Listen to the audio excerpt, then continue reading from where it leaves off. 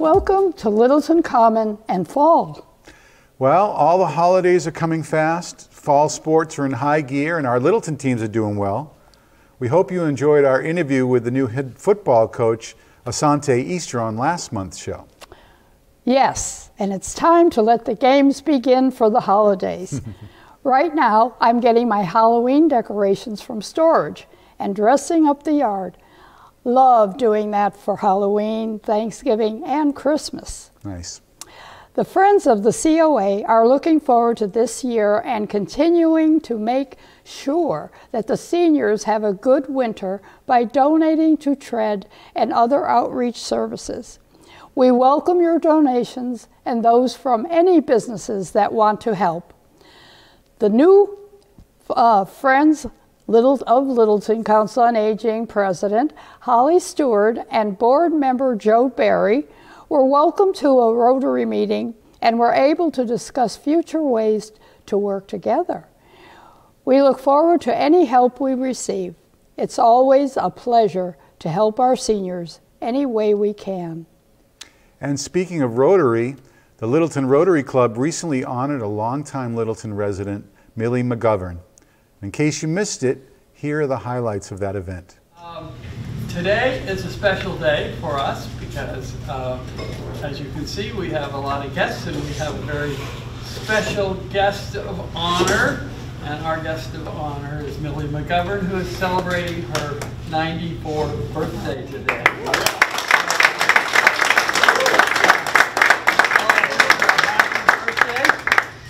Yes. Let's everybody wish Millee a happy birthday. Happy birthday to you.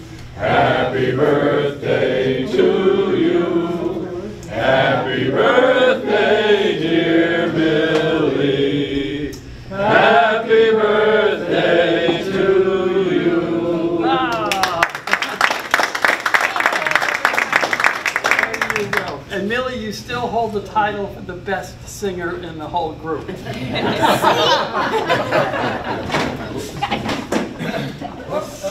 I agree, Millee. I couldn't hear a word you said.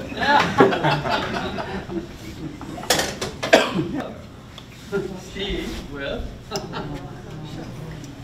oh boy. We also have. You ready for this? Yeah. Here we go. All right, we're going to be cutting the cake. Let's get around it. I worked with Millee for many years. Happy birthday, Millee. Yes. Oh, hey, Pat O'Donohue, also from Littleton PD. One of my favorite people right here. Oh, thank you. Happy birthday. Thank you. Thank you. We know. Thank you. Thanks very everyone for coming. I here. can't believe it. You have to all know this. This morning, I'm never usually late. But this morning, I just didn't want to get up too early. So I'm teeing with the idea, do I want to come to Rotary? Do I want to, I've got to do traffic. Maybe I'll just go down to the craft and get an A. I got halfway up here. I almost turned around. Why? Because I decided I didn't want to come. I was going to be late. I told you to be here today. Be quiet. I'll be quiet. And uh, I, I came that close. You have no idea. I could not believe it. And thank you all so very, very much. I can't believe it. And I am 94 today. I know. You look I'll like keep you're it. 34. I'll keep it. And thank you, thank you to everybody. But holy cats. I hope you all make 94. Okay? And be as happy as I am. How's that? Good. Happy birthday, Millee. Happy birthday, yes. We have been waiting a long time, but it looks like we are getting closer to a senior center and new programs to enjoy. We will be watching for the big day. The Friends are also hoping a new thrift shop will be opening soon. Stay tuned for that date. Speaking of staying tuned, I hope you're a regular watcher of LCTV. We cover 11 different boards and committees each month, so there's no excuse for you not knowing what's going on in town. You can watch most meetings live on LCTV or binge watch the meetings at your leisure on LCTV On Demand, which you can link to from the town website, www.littletonma.org. Or if YouTube is more your thing, Type in Littleton Community Television in the search bar, and you'll be brought to our YouTube page, and you can watch all the great local programs from there. Be sure to subscribe to our channel and hit the notifications icon, and you will receive a notice every time a new show is uploaded to our page. I'm happy to report that last month, Barbara, we passed the 700 subscribers mark to our channel. Wonderful. Yeah, That's, so that's kind of exciting. it is considering the population of Littleton is 10,000, uh, you know, registered voters. Um, that's pretty cool. I think so. Yeah. Today we are visiting with Madavi Oliver, our newest shop owner here in Littleton. Madavi has transformed the Reed Wood House on 20 Meeting House Road into a place of colorful scarves. Oh my, hmm. my thing. Madavi travels to India and handpicks gorgeous fabrics to design her May Mayil scarves. The shop's name, Mayil, means peacock in Tamil hmm. and is often spoken in southern India. This is one of the oldest surviving classical languages. Like feathers of a peacock, Mayil scarves are a kaleidoscope of colors. Let's go meet Madavi.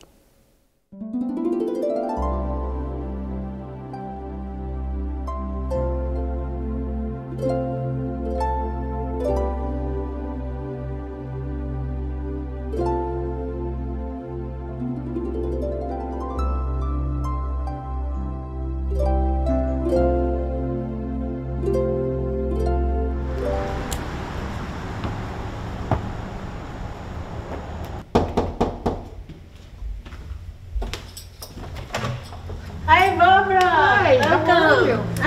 Thanks for coming.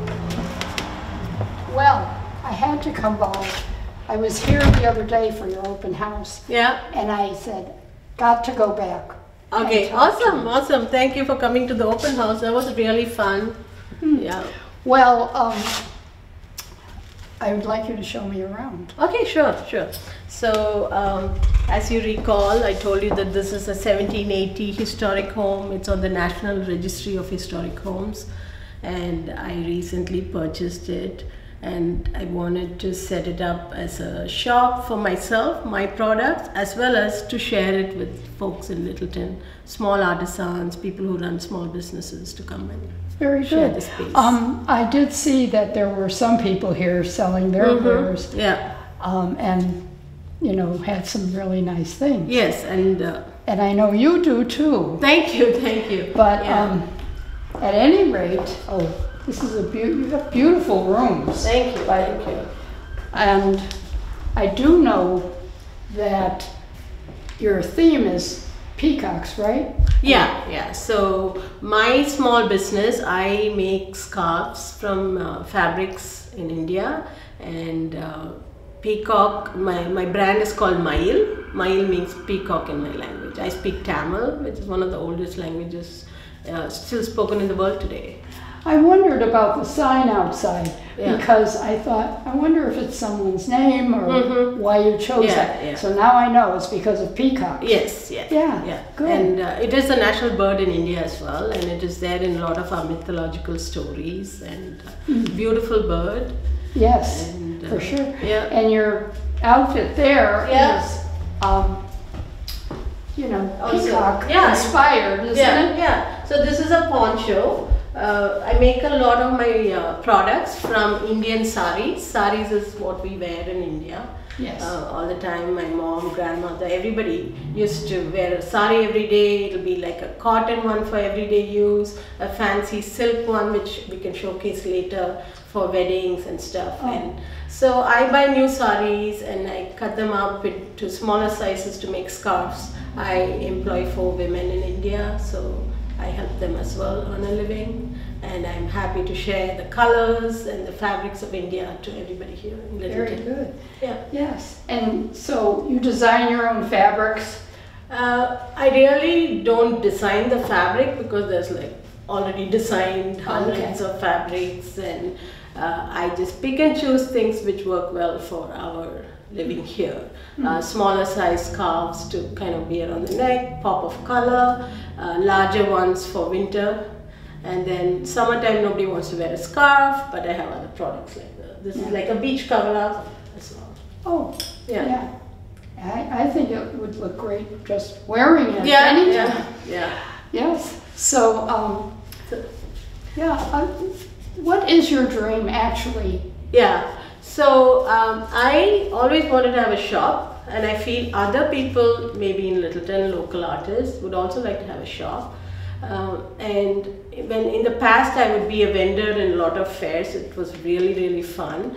And I feel those vendors in the winter time may, would like to be inside and showcase their art as well. So I kept uh, this room for that purpose. There's some more extra space if needed.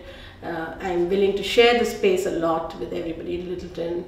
And um, the, it is different from a co-op. It's not like a co-op. In a co-op, it's everybody is permanently selling, and then there's somebody managing it.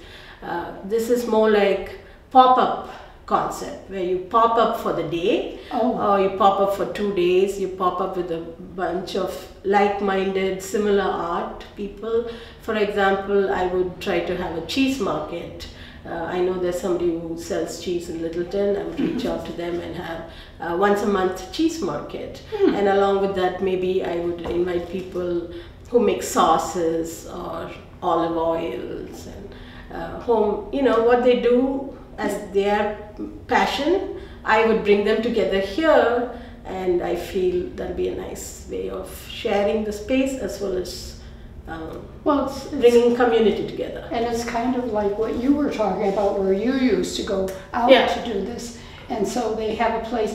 So, what is the limit that they can? I imagine they're renting space. Mm-hmm. Yeah, they would rent a space. And how, what's the limit for staying or coming? Because can you Um, come back it- other I'm a learn. It's a learning experience, right? And I don't know what the town people need or what uh, vendors would need. Uh, I'm going to start off with, hey, rent it for a day, um, and then or if you want to rent it two, three days, so you get enough publicity for people to come in. I'd be happy to do that as well. So I'm going to let it uh, run by itself and evolve as it is. Uh, for me, it's not all about making the money. I did put a lot of money into this building. I can imagine. Um, I had to redo the walls, uh, fireproof them to 45 minute fire rating, and uh, redo the plumbing. So, uh, but then I made a beautiful place. I'm very happy about it. I'm happy to be in my shop and share this space with everybody. Can we take a little tour? Yeah, sure. Yeah. So welcome to my shop. So before I start start showing the shop, I want to give a shout out to my builder, uh, Brian Lurvy. He grew up in Littleton. I think Lurvy family lives here as well now. Oh. Uh, he lives on Snow Drive, and he did a fantastic job helping me with everything. And uh, Tim, the person who did a lot of the woodwork as well. Oh. I would like to shout out to them. You know, I like that you've left some of the building Yeah, as it was. yeah. So- originally, actually. Yeah, true. So the, there was a big chimney here. This was the kitchen of the building, uh, and there was like a small eating area. Uh, the, room we just came out of was the dining room, and there was a living room on the other side, two bedrooms upstairs. So there was like a wood stove, an old chimney, uh, which would have been nice to leave as is, but then I felt I needed the space for my shop, so I saved the brick and we put it here, used the old wood here. nice. All the beams are from the house, old wood from the I like the mirror over there anyway. so I'll explain to you a little bit about the mirror concept. When we shop in India, uh, my, my great grandfather used to have a sari shop in India, which I didn't know that time, but now I have learned about it. But when we shop in India, the saris are stacked up in, in cupboards like that, and there is a mirror, and there's a table or like a desk, and the person, there are salespeople standing behind you, and they take off the sari, Oh. and then they drape it on you, and then you have a mirror to look to see if you like it, and Yeah. you purchase it.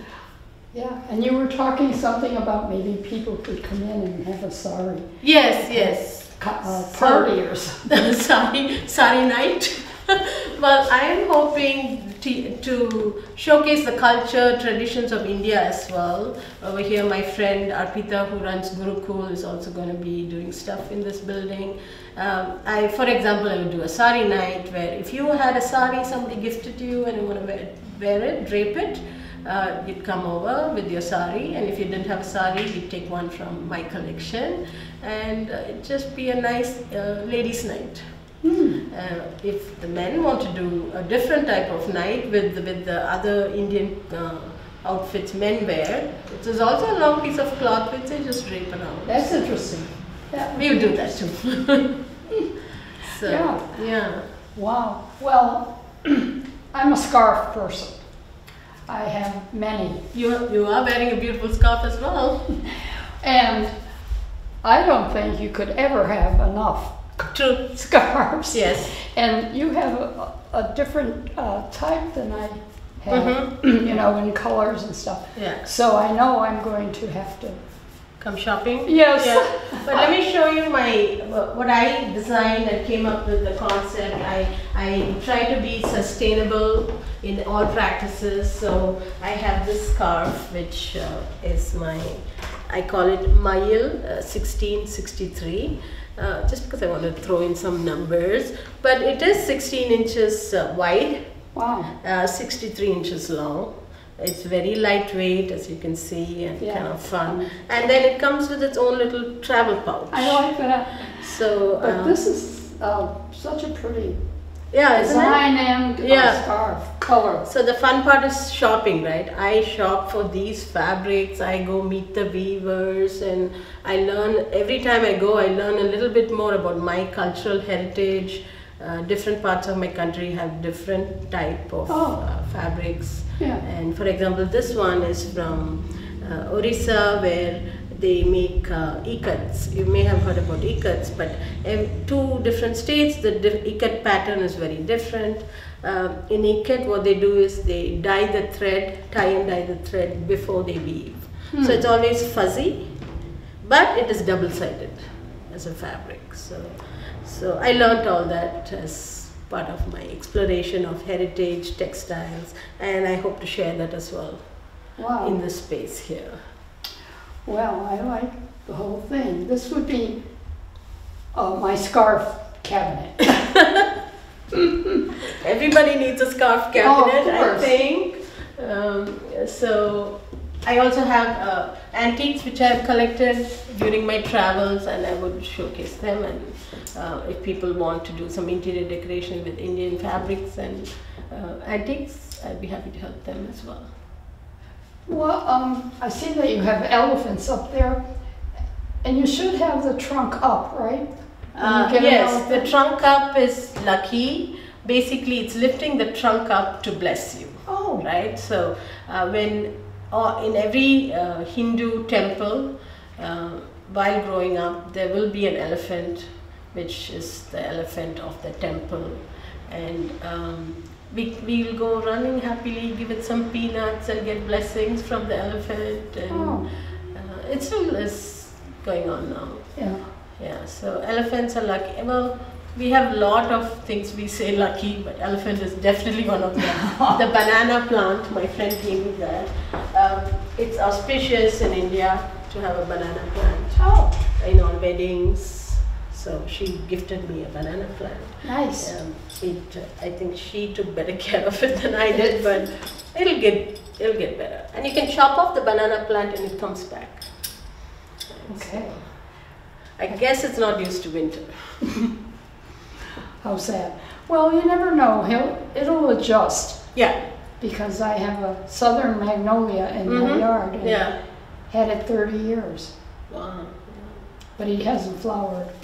Oh, my magnolia flowers a lot. Oh, Um, I, I don't know if it's a dogwood or magnolia. Is there a difference? I don't know. But I have lived more than half my life in Littleton. I love Littleton. And I've been part of the parade committee, the 300 year celebration. I was in the Oh. parade committee and we did an Indian float. I don't know if people remember the Indian float with a lot of dancers and Oh. color and yeah. yeah, I've been on the sustainability committee. I hope to be very sustainable in my business as much as I can. Nice. I hope so too. Yeah. So this is an antique tapestry. It's probably more than 50 years old, as you can see. It's kind of coming out. But look at the artwork and gold threads, and there's a lot of gold threads and silver threads in all our fabrics.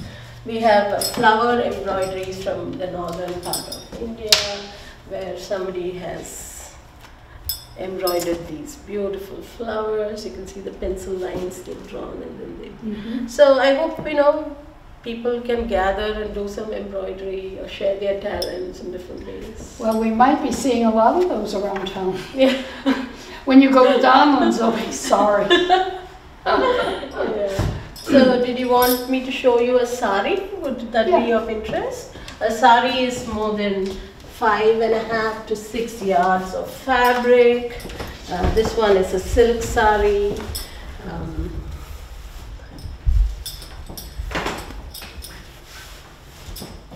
and usually it has like a different type of border which drapes over you in front and then it's pleated here and it's I look forward to sharing that experience at some point. But as you can see, it's just one long piece of fabric which goes on and on and on and on. And look at the beautiful blue.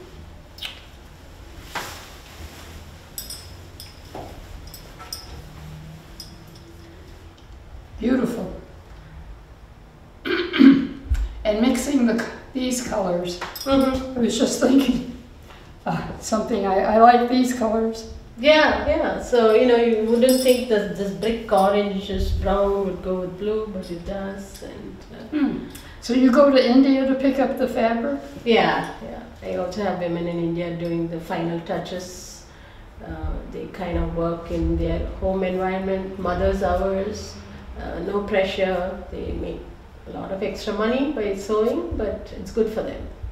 I feel uh, they can send out their kids to school, and if they have two, three hours in the afternoon, I supply the sewing machine, the thread, all the fabrics. So, and then if they feel like sewing other things, they're free to do that as well. So, Hmm.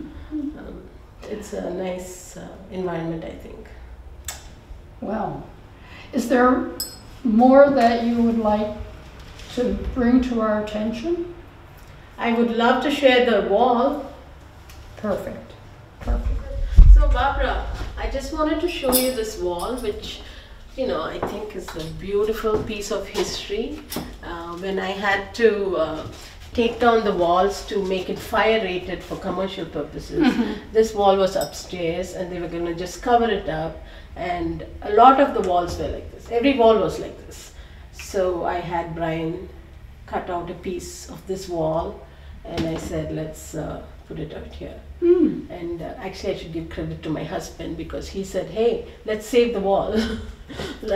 And Good idea. yeah, so Really? now it's here, and uh, it's a showpiece, but it also shows people that in late 1700 they didn't have fancy tools, Uh-huh. so they would use axes, I think, to chop and make the slats and the supporting boards. Wow. And uh, when we go upstairs, I'll show you the, the wall of the 1800s, which also I left a small bit exposed. Uh, I think this part was 17, late 1700s, and this uh, this part of the building is 1800s. Yeah. And it, uh, Okay, well, this is great to see. I'm glad you saved it.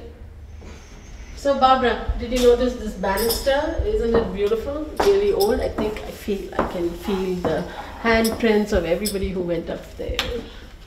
Shall we go upstairs? Sure. Uh,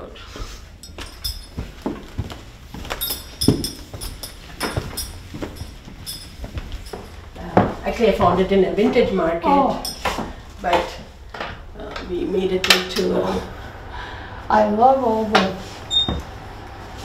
style. yeah. I just uh, I'm very happy with the way it came out. Hmm.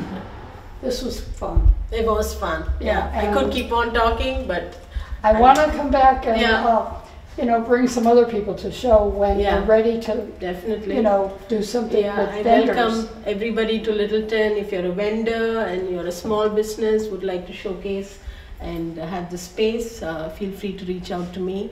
Uh, the website is uh, 20meetinghouse.com.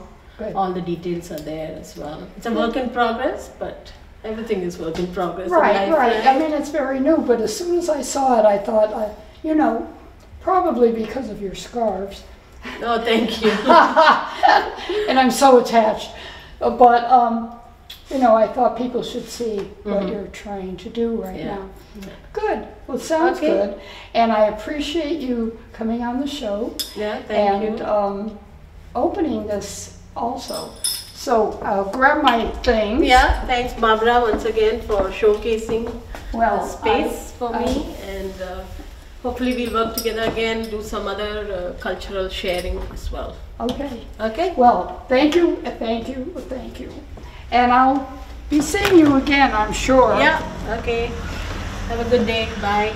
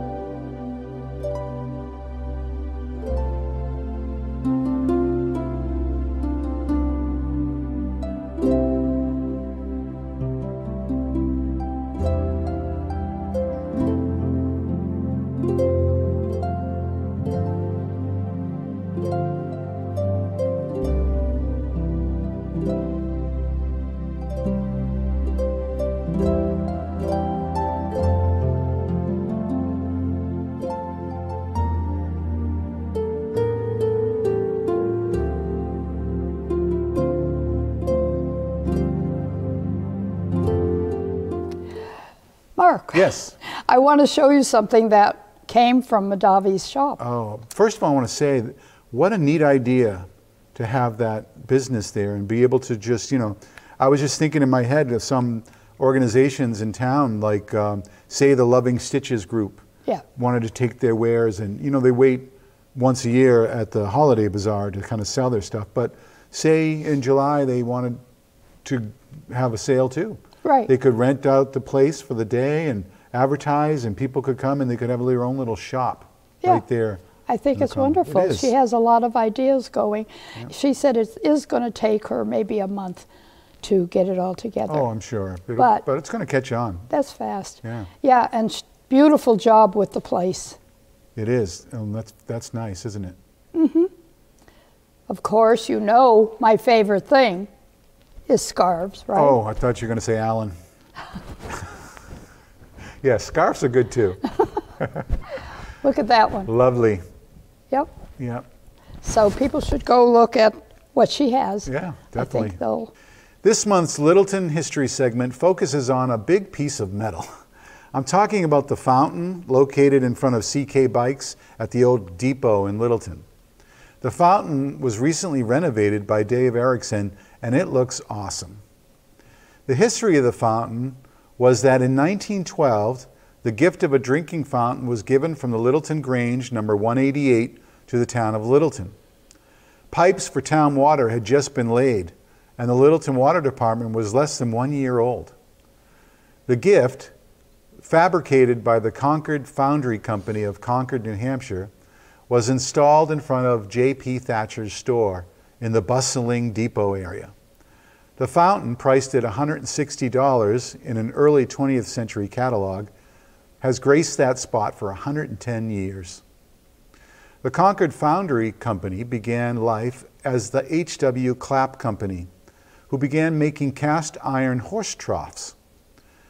In 1890, Henry Clapp, no longer associated with the company that bore his name, he applied for a patent for a combination trough and drinking fountain. The patent read, in part, the object of the invention is to provide an ornamental drinking fountain adapted for the accommodation of man and beast. The Grange fountain is an example of a model fountain number one arranged for people, horses, and dogs. The drinking fountain is shielded by a hood to protect humans from bumping heads with horses as they drink from their respective sides. A bowl at the base satisfies our smaller four legged friends. An extended mast with an electric gooseneck lamp is missing from our fountain, uh, but it is visible in the historic photo. The November 2nd, 1912 Turner's Public Spirit reported that the drinking fountain presented by the Grange has been set up in a convenient place near J.P. Thatcher's store, and there will be a light over it. A metal plate affixed inside the drinking hood proclaims, presented by Littleton Grange, number 188, to the town of Littleton, Mass, 1912. When I was a kid in the 1970s, I used to walk or ride my bike to Johnson's store. I would always stop and get a drink at the fountain. I remember the water was ice cold. The fountain at that time was already starting to show its age. And over the years since, the fountain kind of fell into disarray. The light that was once on the top was broken off, the fountain was rusty, and eventually the water was shut off. The Littleton Country Gardeners turned it into a planter for flowers, and it became more or less a giant flower pot. But in 2019, the Historical Society received an inquiry from Mr. Larry Sullivan of the Warner, New Hampshire Historical Society. They had a fountain in front of their town hall that was in need of restoration. And in the course of their project, Mr. Sullivan began to research the Clap and Concord Foundry fountains in New England. And through the wonders of the internet, his research brought him to Littleton, and our fountain is included in his final report. In all, he found 24 fountains in various states of repair and uses. Well, part of Mr. Sullivan's report was a condition assessment based on his personal observation and comparison to others that he had seen. The assessment was an eye opener for the Littleton Historical Society. And after reading the report, they looked at the fountain with a critical eye. Shortly after receipt of the report, Littleton Historical Society board member Ann Lawrence, a resident of the depot area, met up with Dave Erickson of Erickson's Antique Stoves, Inc., housed in the old depot building, and she mentioned what they had been told by Mr. Sullivan in his report. And Mr. Erickson was immediately captivated by the idea of restoring the fountain.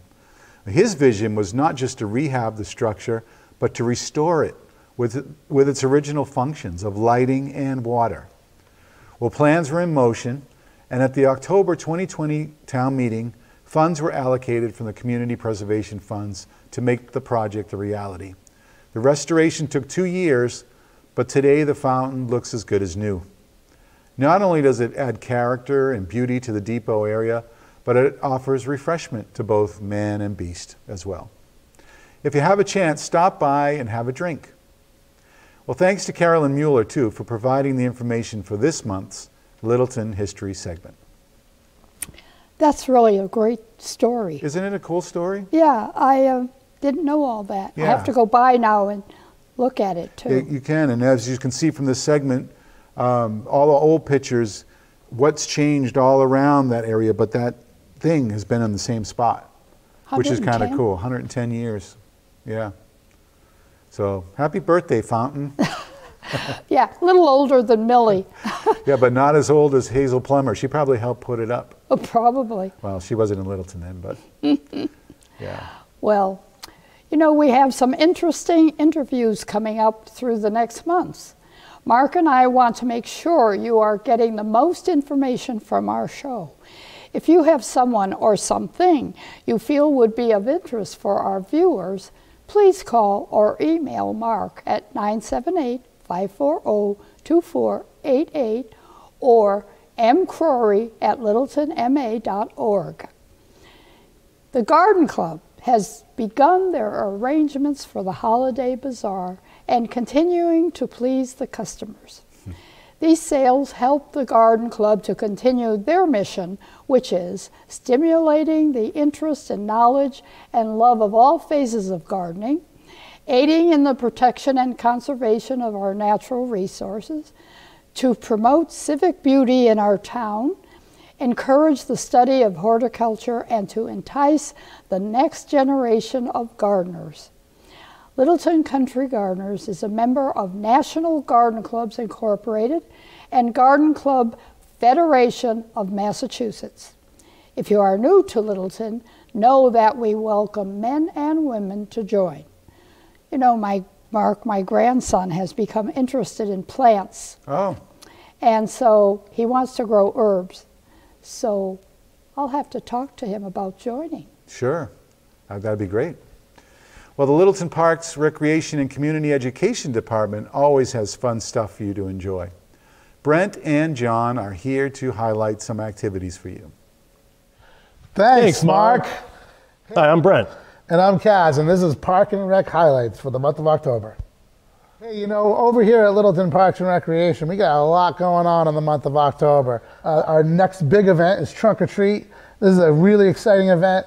Uh, we have vendors come out, they give away candy. We want everybody to bring their, uh, wear their costumes, uh, and we're going to follow up with a movie on Alumni Field. It's actually going to be um, on Jet Field, the softball field right next to um, the uh, alumni football field. So that is Friday, October 28th at 6 p.m. Uh, sorry, yeah, October 28th at 6 p.m. over there at Russell Street School. Uh, one of the things that I started here, uh, I give kudos to a mom here in Littleton that he came up with the idea, but we have the half day program. I know that uh, a lot of uh, parents uh, have a hard time struggling to find coverage for their kids if they're not in Tigers Den or at your, the club. Uh, they're looking for something. Uh, this is specifically for the Shaker Lane school kids, K through two. But we have uh, an after school program where we have instructors come in. So this last Wednesday we had Skyhawk Sports take the kids outside and do a, a, a you know assortment of athletic games with them. Um, what we do is uh, myself and Kelsey, one of our staff members, we have lunch with the kids, and then we hand them off the instructor. The very very next one we have is Friday, October 21st, and that is Kid Casso. And then we have Wednesday, November 2nd is Top Secret Science. Um, and then we have, you know, pretty much every single day that there's a half day, with the exception of the Wednesday before Thanksgiving and uh, the last day of school, we offer some sort of program. It's $50. There's K through two, um, and we do something for fall, winter, and spring. Yeah. We also have a half day program for uh, grades three through seven. Uh, some people may be a little confused because originally we had the program just for our after school program, the club. That program has now been opened up to all three through seventh graders uh, from RSS or LMS. Uh, the program is great. Most days we go on a field trip. Our next upcoming field trip is going to be October 21st for that half day of school, and we're headed out to Salem, Mass to take part in all the Halloween festivities. Perfect timing, right before Halloween, and uh, should be pretty cool to go out to Salem with that group. Yeah, it's great. And it's just like that Shaker Lane one. It's only 50 bucks for the day, so pretty good deal. Fantastic.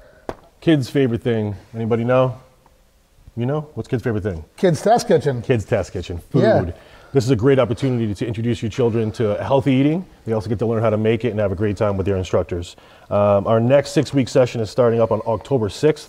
Um, it's a very popular program. It's for grades one through five, and it's $200 for the six week session. Uh, they actually bring home a, a meal every time they're there, uh, or the raw ingredients to cook their own meal to show their parents how to do it too. It's great. Takes Yeah. care of dinner for you, right It does. well. It's been a great program. And this starts, uh, again, October 6th, and it goes from um, 5 to 6 p.m. right here at Town Hall Senior Diner. Yeah, this next one here is uh, instructor has been with us a long time, Steph Beach. She teaches a magic workshop. Uh, right now, we got two kiddos signed up for this next um, session starting October 4th. It's right after school at Russell Street at 245. It's for Russell Street uh, students, grades 3 through 5. It's only $175. They get, um, I think they get eight actually take home um, magic tricks that they can actually bring home and show their friends and whatnot. Uh, Steph's done an amazing job over the years. Uh, like I said, we already got two kids signed up for this next session. We're looking for a few more. Uh, if you want to get in there, get in there soon because again, it's starting December 4th. Oh, so my youngest did that program with Steph. Absolutely loved it. The end of the last class is always a show. The kids get to uh, perform their magic in front of all the parents. It's a really fun program if your, your child just like dabbles into magic or is just mildly interested because it's there, there are things that are easy for everybody. Yeah, that's great. Um, one of the things we also brought to uh, Parks and Recreation when I joined was uh, we have a few holidays in town that not everybody gets off for work. Um, in October, we have Yom Kippur, which is Wednesday, October 5th. And on Monday, October 24th, is Diwali. It's a new Littleton Public School holiday. Um, but, you know, our answer at Park and Rec is if you need us, we're here for you. So, um, you know, parents don't know what to do with their kids when they're working on that day. Well, we have a couple of field trip programs on the 5th of uh, Wednesday next week, we'll be going to Connor's Farm. Um, corn maze, everybody gets apple cider donut. There's a big giant playground. There's an inflatable park area. Um, and there's slides and all sorts of other great things to do there. Uh, and on uh, the 24th, uh, we got Diwali, we got Ultimate Obstacles in Worcester, we're heading to. Um, and that is a Ninja Warrior course. So if you take the Ninja Warrior class uh, with Brent's gonna be into group, you can go right over here and show everybody what you're made out of. So we wanted to save, uh, in my opinion, the best for last. It's uh, it's our big program that we've uh, we started last year. It was pretty small. This year, it's really grown tremendously. We got a great staff in there. They're doing an amazing job. Uh, it's our the club after school program. Um, a little bit about after school programs. Studies have shown that uh, graduations go up, uh, lower depression rates. Uh, it gives them a feeling of belonging, somewhere they are part of, and that's what really what we're trying to strive there is give these place a pla- uh, give these kids a place that they can come call their own. Uh, and I think that's what, exactly what they're doing. It's been a great start to the year, um, but we do have open spots. Uh, if you're interested in getting your kid in, uh, please contact me ASAP. We're enrolling kids every single day. Uh, some people may have a hard time on the website because it's a membership, not a program, and it may not be completely apparent where to sign up. Uh, but if you just give the office a call, we'll take care of you and we'll get you right in there. It's a great program. I can't speak highly of it enough. Yeah, that's all we have for you for Littleton Parks and Rec for the month of October. Hope to see you back in November.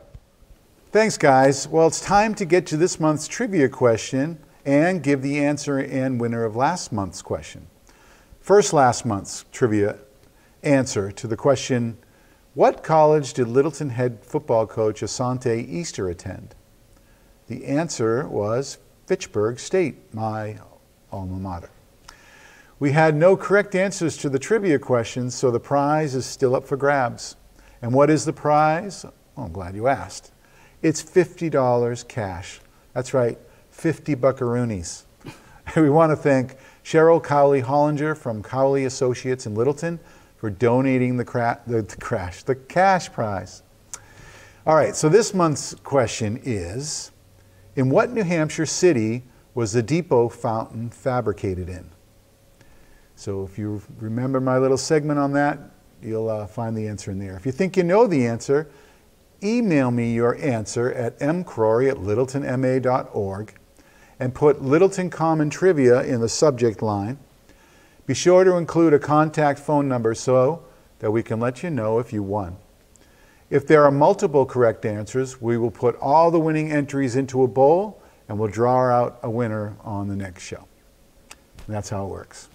We're dying to give away stuff, so you know, we thought, uh, you know, I was wondering perhaps maybe because I used to say the first five entries that I received, and if someone watched the show later in the month, they may think, oh, I probably missed that opportunity. So now it doesn't matter whether it's the beginning of the month, a little later in the month. If you're seeing this show, you have a chance. Good.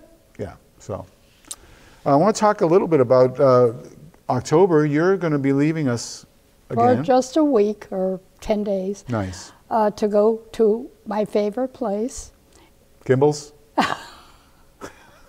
second favorite. Oh, second. favorite. Um, yeah, Italy. nice. Italy. And I'm not taking you this time. I know. I'm so sad. Sorrento, here you come. Exactly. Probably find some scarves. That's right. You have at least one new one to wear. They're going to say, "Where did you get that?" Yeah. Yep. Littleton, Mass. That's right. Only in Littleton, Mass. Yeah, well, yeah. I guess that'll do it for our show. What do you want to say to our seniors out there and anyone else watching? Well, I want to say, please don't forget your seniors. And now maybe you can hug them Right. like we used to. That's right. Go up and hug them. Don't cough on them or sneeze. Hold your breath. Hug them, then separate again. Right. Can I mention something else? Sure, go ahead, mention it. I want to talk about the fact that I've been embarrassed because right now I have two places that are getting, uh, you, you know, new crowns in my mouth, and um, what is there now is horrible. and I try not to show that part because they're big and they're so white compared to my bottom teeth. But it'll be fixed in October, I hope, Yeah. and I'll be ready to Well- smile bigger in November. Often you've exposed yourself on the show many times about, you know, hair loss and, you know, weight Cancer. thing and cancer and all sorts of stuff. So I just thought it was another chance for Barbara to expose herself. Well, what I'm laughing about is when you started just now, when you said, and you're always ready to expose oh, yourself. Oh, yeah. I, I thought, he's Well, going to go on, right? it's, it's sweeps week, you know, what can I say? Yes, um, that can have two meanings. Look it up in the dictionary. So, well, anyway, yes, glad to glad to have fun with you. Yeah. And uh, Have a safe I'll trip. send you a postcard. Oh, thanks. I appreciate that. we'll see you next month, folks. Have a great October.